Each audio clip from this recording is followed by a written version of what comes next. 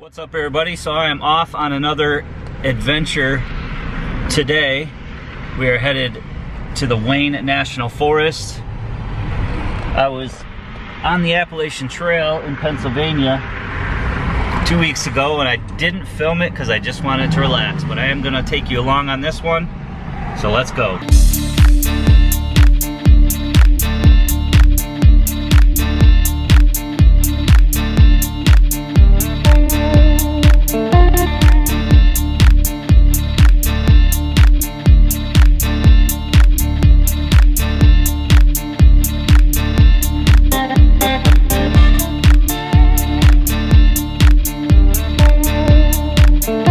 So Ohio, you have a major problem. We're on the east side of the Wayne. We went to this one, closed. Went down to this one, closed. Went up to this one. I don't even know what to call that. Run down, not maintained, closed.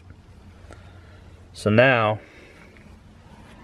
we're way down at this Lane Farm campground, which pretty lame if you guys call this a campground.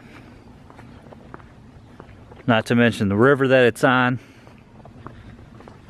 There's oil wells all up and down it. So I'm sure that's some nice healthy water. Got Chris.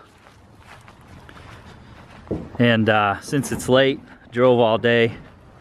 We're just gonna stay here for the night and uh, we'll figure something else out in the morning.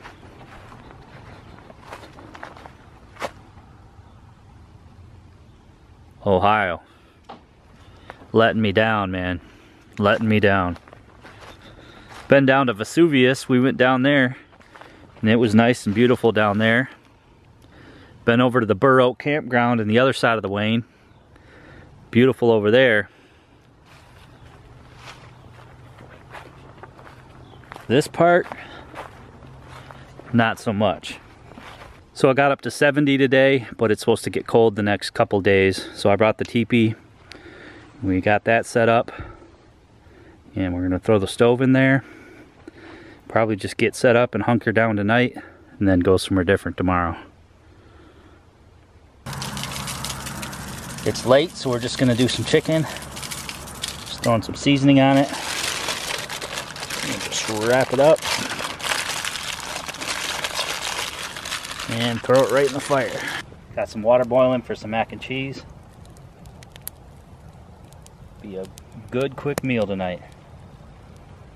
Since we're at a campground, there's literally no wood, so screw the grate. We're just gonna cook right on the flames. One of the things Chris and I always make is some Velveeta shells and cheese you know about the Velveeta shells and cheese. Slamming. Definitely slamming.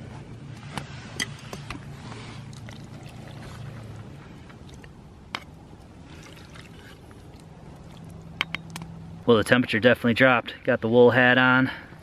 Got the Lester River Bushcraft anorak on. And drinking some hot chocolate.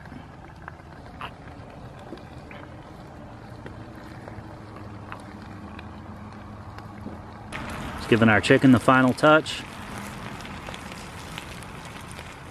They were saying something about panthers in Ohio. Oh my god, there's a panther. Chris, there's a panther. Oh no. Get it, Ben.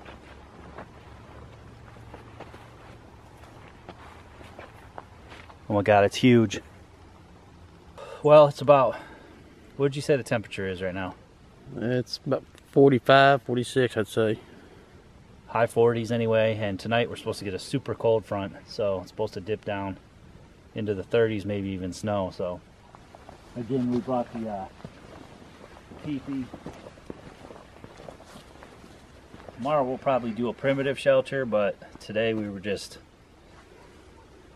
had to set something up quick so I brought the teepee it's super lightweight super easy. Got the titanium stove in there. We've got some wood up so we got some wood just in case it does get cold, so we'll be nice and toasty in there. Just got our pads, basically tarp on the ground, wool blanket, pads, and then Sleeping bag, just go right on top of that. Should be nice and cozy. So we got our wood supply for the evening and we went ahead and started up the stove. Keep telling Chris it's gonna get toasty in here. You're gonna be down to your t-shirt in a minute, bro. Trust me. She's going good enough now we can start to damper it down. Well, here comes the weather. It got windy and now it's raining.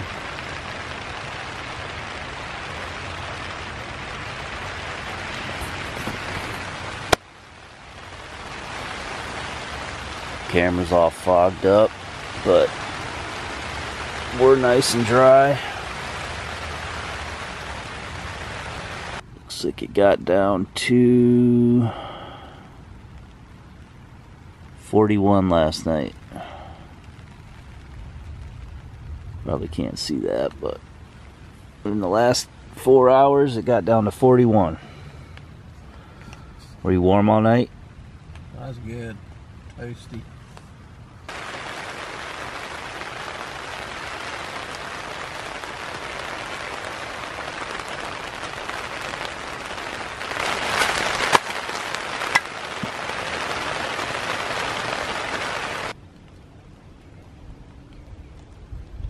It has been hammering down rain and wind all morning. It finally stopped.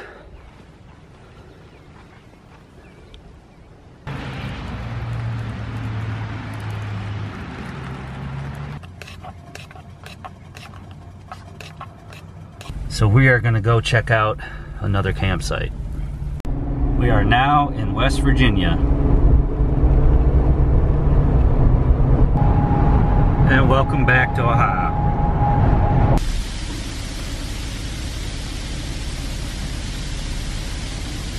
Now we got sleep. Well, we spent all day driving to our other spot to find out that was closed too. So we found ourselves a trailhead in the national forest and uh, just set up camp here. It snowed all day.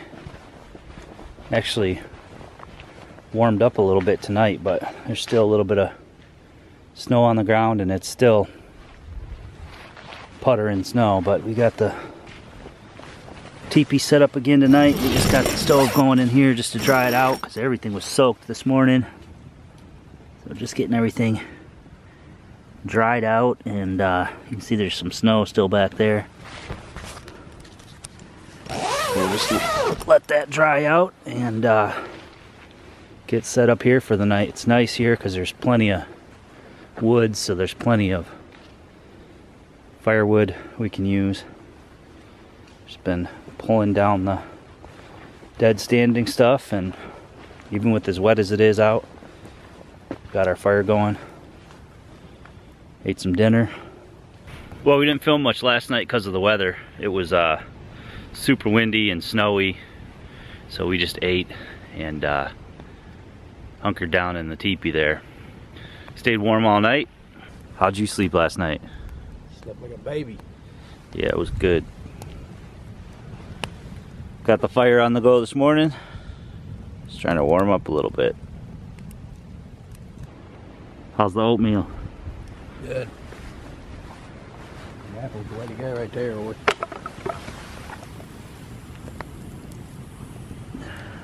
Chris and I are always experimenting with new food when we come out to the woods, so we brought these little pies. Just warm them up. We could warm them up on the stove. In the teepee, it worked pretty well. But the apples and cinnamon oatmeal is a staple. And the Velveeta shells and cheese is a staple. Oh yeah. In the uh, teepee, got down to about 35 in the teepee last night, so probably a little cooler than that outside with the wind. But uh, Chris has the Thermarest Ridge Rest with the reflective on one side. And then we bought these Klymit mats yesterday. We stopped by a uh, sporting goods store here in Ohio and uh, bought these. They had two left and the lady gave us a good deal on them. So they're the Klymit Static V. Non-insulated, but sleeping on the ground, it gets you up a little bit. It Definitely does add some warmth and um, definitely much comfortable. And then he's just got a wool blanket and a uh, just a reflective tarp. And then he's got his military sleep system, both bags with the bivy. Needless to say, if he wasn't toasty, he's a crackhead. And then on my side, pretty much same setup.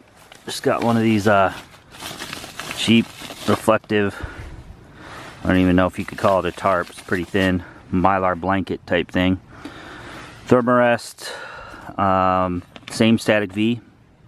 Then I just have a Snugpak zero degree bag. And that Klymit pillow came in the Battlbox, so I'm trying that out, but, oh, and a wool blanket too. So yeah, plenty warm. Uh, we kept the temperature in here in the 60s, 70s when we were tending to the stove.